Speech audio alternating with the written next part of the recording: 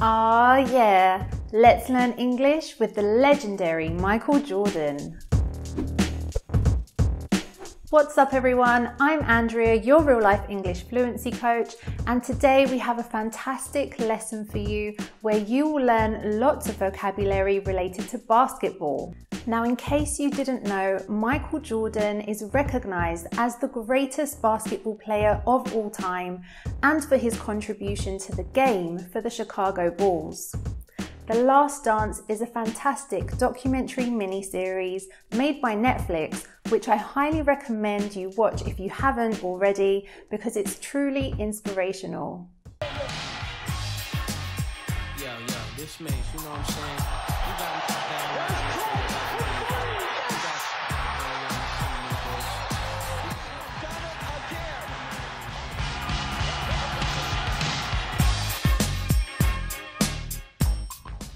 when I first got to Chicago.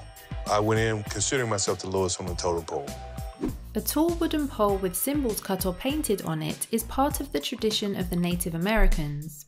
By saying that he was at a low point on the pole, he means that as a newcomer to the team, he had no authority. He further develops this idea here. Whatever people have been saying about me, I still had to earn my stripes. If you earn your stripes, you do something to deserve a new position or a higher status. Example, he earned his stripes playing for the reserve team. When he arrived into the gym on the first day of practice, you can see that this guy is the best player here. This this cat is uh is different. Cat is an informal way to refer to a man. I've seen this a million times. This guy's playing a game, we're gonna play right back. Just keep cool, and this cat'll come to us. And when he does, I promise you, I'll be there with my wampin stick. Now, in case you're new here, we want to let you know that every week we make lessons just like this one to help you learn fast English without getting lost, without missing the jokes, and without subtitles. Just like Betty, who says that by watching our lessons every week, she can now understand The Ellen Show all on her own. So don't forget to hit that subscribe button and the bell down below so that you don't miss any of our new lessons. When we drafted Michael, I did not know how good Michael was. In American sports, to draft a player means to select him for a team through the draft. A draft is a process used in some countries in sports to allocate certain players to teams. The Chicago Bulls picked Michael Jordan of the University of North Carolina. Chicago Bulls having the third pick in the draft and went with the sensational Michael Jordan of North Carolina. In a draft, teams take turns selecting from a pool of eligible players. When a team selects a player, the team receives exclusive rights to sign that player to a contract, and no other team in the league may sign the player.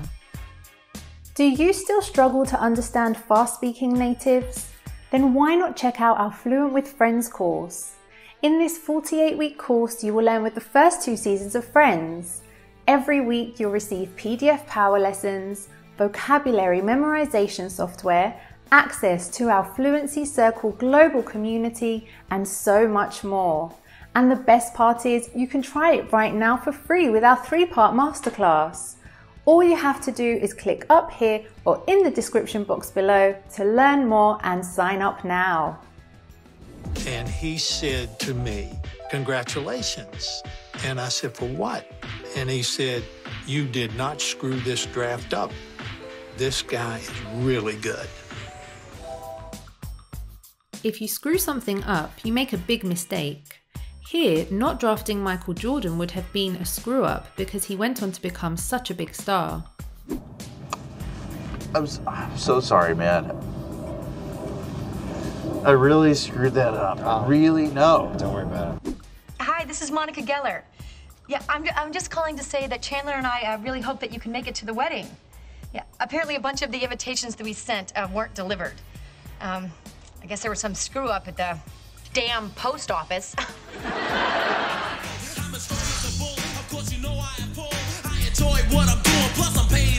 my! 48 for Michael Jordan. As you might know, we use oh my god or its alternative oh my gosh when we're really surprised about something. Sometimes we might also shorten this to oh my, but the meaning is the same.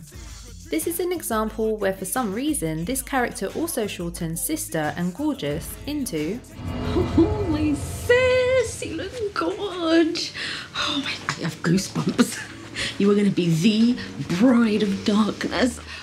Here, meet my friends. Monica, you look gorgeous. Oh my, the last time I saw you was Eat or Be Eaten. The game commentator here is blown away by Michael Jordan's high scoring game. As you'll see now, he went on a streak of great performances.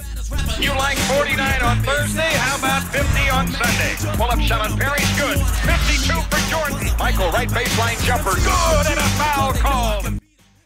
There's some interesting basketball vocabulary in this lesson. The narrator here says Michael did a pull up shot. In order to understand this, first let's take a guess at what the phrasal verb pull up means. To come to a stop, to sprint, to faint.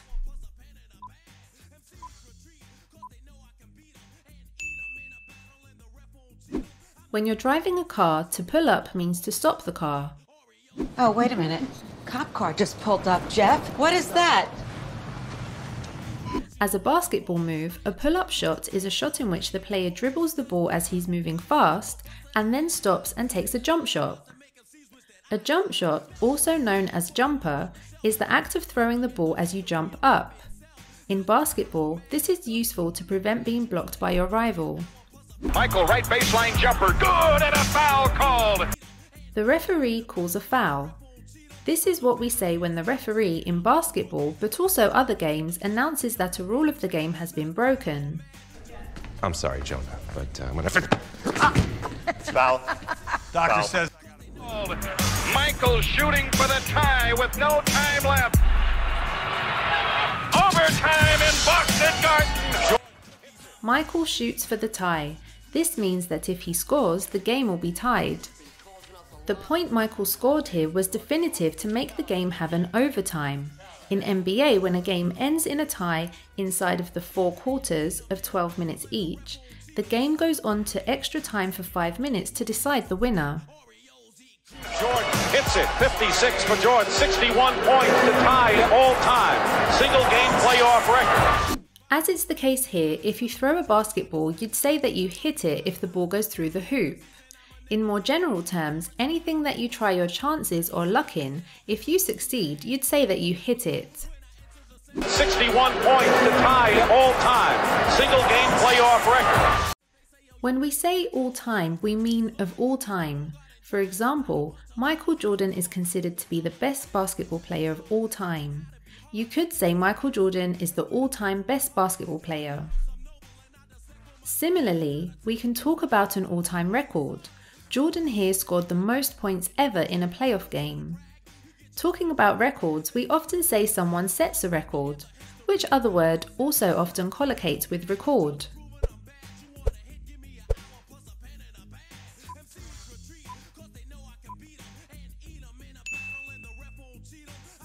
To this day, no one has been able to beat Michael's record.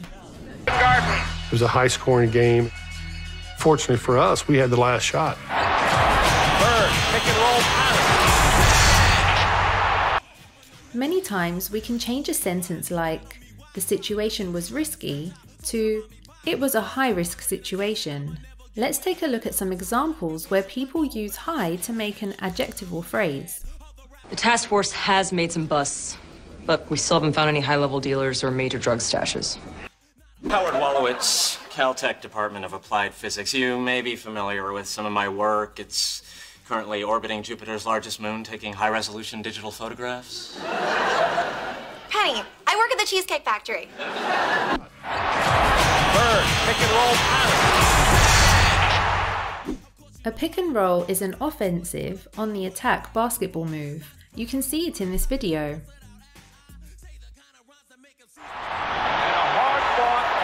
Victory for the Boston Celtics to take a 2 0 lead. We say that something is hard fought if something like a win or achievement took a lot of effort. It's the opposite of an easy win. Congratulations. Thanks. Yeah, we'll see what happens. And congratulations to you on a hard fought race. After this game, the Celtics had a 2 0 lead over the Bulls. That means that they had won two games and the Bulls none. We were fortunate to win that game, but Michael put on a show. To put on a show means to have an excellent performance that's spectacular to see. Example Ronaldo put on a show in the World Cup. I've been going at him for six hours. He won't say a word. The guy's a brick wall. Not to worry, Sarge. I'll take it from here. Hope you boys brought popcorn, because I'm about to put on a show.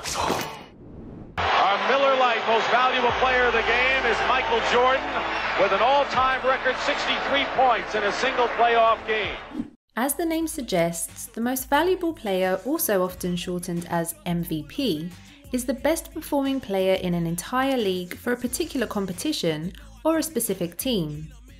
As it's the case in this clip, it's also often used to mean the player of the match. That's to say, the individual who had the better game within the two teams playing. We end up winning the series, but it was an incredible, incredible playoff performance. I, have never seen it before, and I had never seen it after. That wasn't Michael Jordan out there. It was God disguised as Michael Jordan. A disguise is something that you wear or use to change your appearance so that people do not recognize you. It's not the same as a costume, like for example the costume you wear at Halloween. The person speaking here is Larry Bird, another legendary basketball player. The use he's given this expression is metaphorical. He's saying that Michael's performance was godlike, he played so well that he didn't look human. Let's watch a short variety of cases and context where people use the word disguise. All right, let's go over our disguises. I am Herbert Goffelman from San Diego. I came here to stand in the cold outside the Today Show holding a sign with a misspelled word on it. I don't know what you're talking about. Oh my god, you slept with the same girl twice in a row? Was it a mistake? Was she wearing some kind of disguise? This is the great disguise, huh? Oh, Fry Oh, cook. No, no, this is my horrible night job. In fact, I was hoping you could drop me off at Chicken Dan's when we're all done. If you're enjoying this lesson, then I highly recommend you check out our lesson with the late Kobe Bryant next. You can click up here or in the description box below to watch it next. Nobody like him. Point blank. If something is point blank or you say something point blank, you say it in a very definite and direct or not very polite way. Example, she gave him a point blank refusal. What were you and your show? Didn't you tell him? Yes, what are you talking about? We discussed it the other day at lunch. I don't remember you telling me that. What? You told me point blank. You discussed it. Everybody. I did discuss it. A word with a similar meaning is blunt. Henrietta, I'm sorry if this is blunt, but I think I owe you this. I don't want to be with you. Right now? Ever.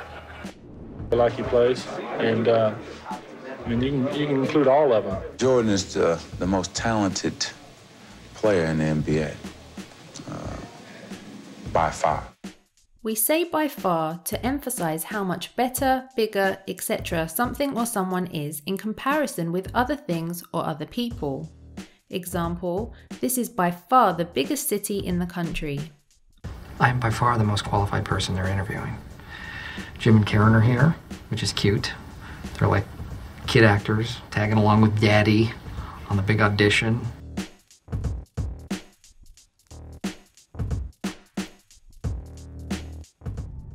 When I first got to Chicago, I went in considering myself the lowest on the totem pole. Whatever people have been saying about me, I still had to earn my stripes.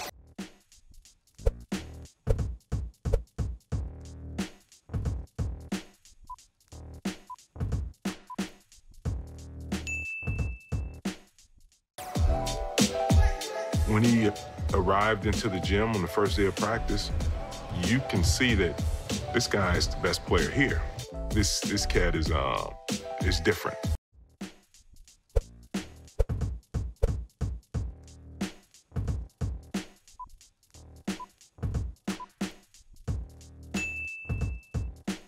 That wasn't Michael Jordan out there. It was God disguised as Michael Jordan.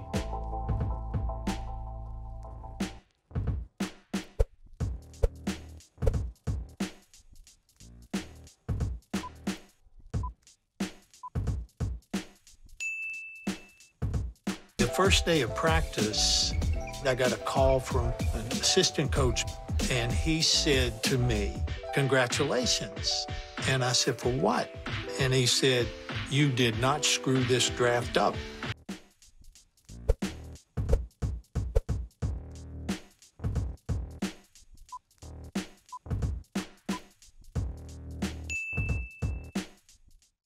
This guy is really good. For the first day in practice, my mentality was whoever is the team leader on that team, I'm going after him. And I'm not going to do it with my voice because I had no voice. And a hard-fought victory for the Boston Celtics to take a 2-0 lead.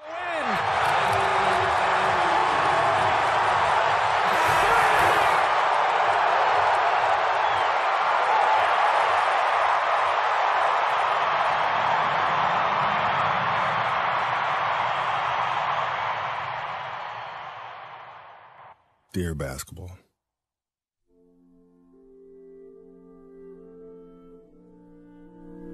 From the moment I started rolling my dad's tube socks and shooting imaginary game winning shots in the Great Western Forum,